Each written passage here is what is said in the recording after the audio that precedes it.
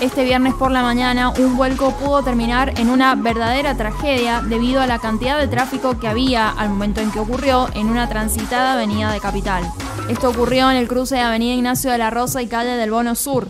Según se pudo ver en el video del momento del accidente, un Ford K circulaba por el tercer carril hasta que por razones que se investigan, quien iba manejando el rodado impactó contra otro auto que iba por el carril del medio y perdió el control provocando que inmediatamente volcara.